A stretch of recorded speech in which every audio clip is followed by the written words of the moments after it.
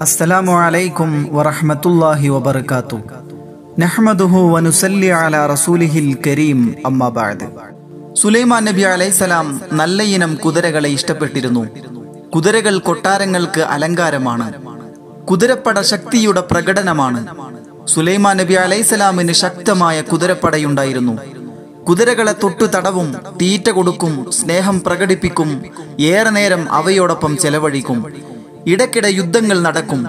യുദ്ധം ജയിക്കാൻ കുതിരപ്പട തന്നെ വേണം.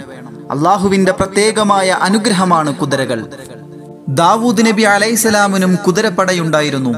പിതാവിൽ നിന്ന് പുത്രന് കുതിരപ്പട അനന്തരവകാശമായി ലഭിച്ചു. അവയെ പ്രത്യേക പരിഗണനയോടെ സൂക്ഷിച്ചു വന്നു. ലോകത്തിലെ ഏറ്റവും നല്ല ഇനം കുതിരകളെയാണ് സുലൈമാൻ നബി അലൈസലാം വളർത്തിയിരുന്നത്. ഒരു ദിവസം സുലൈമാൻ നബി അലൈസലാം ഇങ്ങനെ പ്രസ്താവിച്ചു. ഞാൻ ഇന്ന് നൂറ് സ്ത്രീകളെ സമീപിക്കും. അവരെല്ലാവരും ഗർഭം ധരിക്കും ആൺകുഞ്ഞിനെ പ്രസവിക്കും. വളർന്നു വരുമ്പോൾ അവരെല്ലാവരും കുതിരപ്പടയാളികളായി മാറും. ഓരോ ഭാര്യയിൽ നിന്നും ഓരോ കുതിരപ്പടയാളി അവർ അള്ളാഹുവിന്റെ മാർഗത്തിൽ പോരാടും. ഇക്കാര്യം സുലൈമാൻ നബി അലൈഹിസ്സലാം പരസ്യമായി തന്നെ പറഞ്ഞു. പക്ഷേ ഇൻഷാ അള്ളാ അള്ളാഹു ഉദ്ദേശിച്ചാൽ മാത്രം എന്നു പറയാൻ വിട്ടുപോയി. അത് കാരണം ഒരു ഭാര്യയൊഴികെ മറ്റാരും ഗർഭം ധരിച്ചില്ല. ഒരു ഭാര്യയാവട്ടെ പ്രസവിച്ചത് പൂർണമാവാത്ത ശിശുവും സുലൈമാൻ നബി അലൈഹിസ്സലാമിന് ഇതൊരു പരീക്ഷണമായിരുന്നു. സുലൈമാൻ നബി അലൈഹിസ്സലാം വല്ലാതെ ദുഃഖിച്ചു പശ്ചാത്തപിച്ചു ഖേദിച്ചു മടങ്ങി. വിശുദ്ധ ഖുർആാനിൽ ഇങ്ങനെ കാണാം. നിശ്ചയമായും സുലൈമാനെ നാം ഒന്ന് പരീക്ഷിച്ചു. അദ്ദേഹത്തിന്റെ സിംഹാസനത്തിന്മേൽ നാം ഒരു ജഡമിട്ടു. പിന്നെ അദ്ദേഹം അള്ളാഹുവിങ്കിലേക്ക് മടങ്ങി പശ്ചാത്തപിച്ചു. മുപ്പത്തിയെട്ടാം അധ്യായത്തിലെ മുപ്പത്തിനാലാം വചനമാണ്. ഒരു ജഡത്തെ സിംഹാസനത്തിൽ ഇട്ടു എന്നതിന് പല വ്യാഖ്യാനങ്ങൾ പറയപ്പെട്ടിട്ടുണ്ട്. അപൂർണനായി ജനിച്ച കുട്ടിയെ പറ്റിയാണ് അങ്ങനെ പറഞ്ഞത് എന്നാണ് ഒരഭിപ്രായം. സുലൈമാൻ നബി അലൈഹിസ്സലാമിന് തന്റെ ഒരു പുത്രനോട് അമിതമായ വാത്സല്യമായിരുന്നു. ആ കുട്ടിയുടെ കാര്യത്തിൽ അതിയായ ശ്രദ്ധ വെക്കുകയും ചെയ്തു. ഒരു ദിവസം ആ കുട്ടി സിംഹാസനത്തിൽ മരിച്ചു കിടക്കുന്നതായി കണ്ടു. ഇതാണ് ഇവിടെ സൂചനയെന്ന് ഒരഭിപ്രായമുണ്ട്. അക്കാലത്തെ ഏറ്റവും മികച്ച ഭരണമാണ് സുലൈമാൻ നബി അലൈഹിസ്സലാം കാഴ്ചവെച്ചത്. ഒരിക്കൽ അദ്ദേഹത്തിന് ക്ഷീണം തട്ടി. ഭരണം ശരിക്ക് കൊണ്ടുപോവാൻ കഴിയുന്നില്ല. സജീവമായ ഭരണം നിർജീവാവസ്ഥയിലായി തീർന്നു സിംഹാസനത്തിൽ വന്നിരിക്കും. കാര്യങ്ങൾ ഒരുവിധം നിർവഹിച്ചു പോകുകയും ചെയ്യുന്നുവെന്നല്ലാതെ പഴയ പ്രസരിപ്പ് നിലനിർത്താനാവുന്നില്ല. സജീവമല്ലാത്ത മനസ്സും ശരീരവുമായി സിംഹാസനത്തിൽ ഇരിക്കുന്നുവെന്നു മാത്രം. സിംഹാസനത്തിന്മേൽ ഒരു ജഡം ഇട്ടു എന്നതിന്റെ ഉദ്ദേശം ഇതാണെന്ന് മറ്റൊരു അഭിപ്രായമുണ്ട് സുലൈമാൻ നബി അലൈസലാം സിംഹാസനത്തിൽ ഇരിക്കുമ്പോൾ അപൂർണനായ ശിശുവിനെ കൊണ്ടുവന്ന് മടിയിൽ കിടത്തി കൊടുത്തുവെന്ന് ചിലർ പറയുന്നു.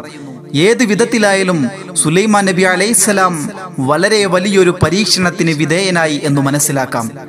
സുലൈമാൻ നബി അലൈഹിസ്സലാമിന്റെ ഭരണം പോലെ മറ്റൊരു ഭരണമില്ല. അള്ളാഹുവിന് വേണ്ടിയുള്ള ഭരണമാണത്. തന്റെ ഓരോ നടപടിയും അള്ളാഹുവിന്റെ തൃപ്തി ലക്ഷ്യമാക്കിക്കൊണ്ടായിരുന്നു. അള്ളാഹുവിന്റെ പ്രശംസ നേടുകയും ചെയ്തിട്ടുണ്ട്. മറ്റാർക്കും ലഭിക്കാത്ത രാജാധിപത്യം എനിക്ക് നൽകണമേ എന്ന് സുലൈമാൻ നബി അലൈഹിസ്സലാം അള്ളാഹുവിനോട് പ്രാർത്ഥിച്ചു. വിശുദ്ധ ഖുർആാനിൽ ഇങ്ങനെ കാണാം. മുപ്പത്തിയെട്ടാം അധ്യായത്തിലെ മുപ്പത്തി അഞ്ചാം വചനത്തിൽ പറയുന്നു അദ്ദേഹം പറഞ്ഞു എന്റെ രക്ഷിതാവേ എനിക്ക് നീ പുറത്തു തരികയും എന്റെ ശേഷം മറ്റാർക്കും സൗകര്യപ്പെടാത്ത ഒരു രാജാധിപത്യം എനിക്ക് നീ നൽകുകയും ചെയ്യണമേ. തീർച്ചയായും നീ തന്നെയാണ് അതിയായി ദാനം ചെയ്യുന്നവൻ. മറ്റാർക്കും ലഭിക്കാത്ത അനുഗ്രഹങ്ങൾ നൽകിക്കൊണ്ട് സുലൈമാൻ നബി അലൈഹിസ്സലാമിന്റെ ഭരണത്തെ അള്ളാഹു പ്രത്യേകമാക്കി വെച്ചു. ചില ഖുർആൻ വചനങ്ങൾ ഇക്കാര്യം വ്യക്തമാക്കുന്നുണ്ട്. അപ്പോൾ അദ്ദേഹത്തിന് നാം കാറ്റിനെ അധീനമാക്കി കൊടുത്തു. താൻ ഉന്നം വെക്കുന്ന സ്ഥലത്തേക്ക് തന്റെ കൽപ്പന പ്രകാരം സൗമ്യമായി ആ കാറ്റ് സഞ്ചരിക്കുമായിരുന്നു. എല്ലാവിധ കെട്ടിട നിർമ്മാണക്കാരും സമുദ്രത്തിൽ മുങ്ങുന്നവരുമായ പിശാചുക്കളെയും ചങ്ങലയിൽ ബന്ധിക്കപ്പെട്ടിരുന്ന മറ്റു ചില പിശാചുക്കളെയും അധീനമാക്കി കൊടുത്തു. എന്നിട്ട് നാം പറഞ്ഞു ഇത് നമ്മുടെ സംഭാവനയാണ്.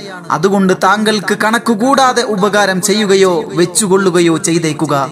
നിശ്ചയമായും അദ്ദേഹത്തിന് നമ്മുടെ പക്കൽ വളരെ അടുപ്പവും നല്ല മടക്കസ്ഥാനവുമുണ്ട്.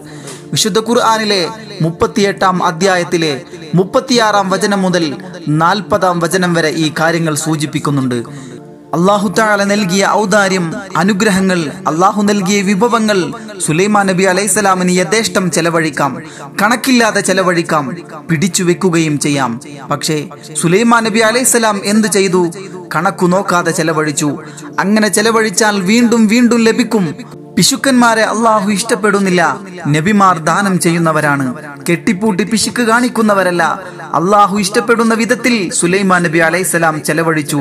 അള്ളാഹു താല പറഞ്ഞു അദ്ദേഹത്തിന് നമ്മുടെ പക്കൽ വളരെ സാമീപ്യമുണ്ട്. അദ്ദേഹത്തിന്റെ മടക്കസ്ഥാനം വളരെ മെച്ചപ്പെട്ടതാകുന്നു.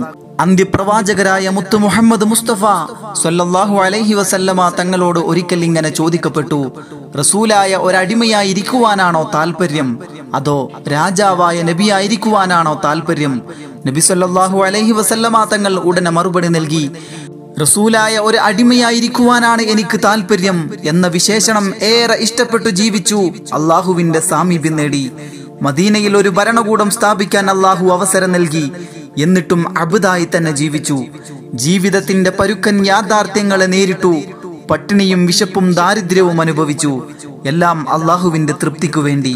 ലോക ചക്രവർത്തിയായ സുലൈമാൻ നബി അലൈസലാം പ്രവർത്തിച്ചതും അള്ളാഹുവിന്റെ തൃപ്തിക്കു വേണ്ടി തന്നെ അത് നേടുകയും ചെയ്തു. ഇൻഷാ അള്ളാ അടുത്ത ഒരു ഭാഗത്തിലൂടെ സുലൈമാൻ നബി അലൈസലാമിന്റെ മരണവും കൂടി വിവരിച്ച് ഇൻഷാ അള്ളാ ഈ ചരിത്രത്തിന് നമുക്ക് വിലാമമിടാം തൽക്കാലം ഞാൻ അവസാനിപ്പിക്കുന്നു. അനിൽ ഹംദുലില്ലാഹി റബ്ബിൽ ആലമീൻ. വറഹ്മത്തുള്ളാഹി വബറകാതുഹു.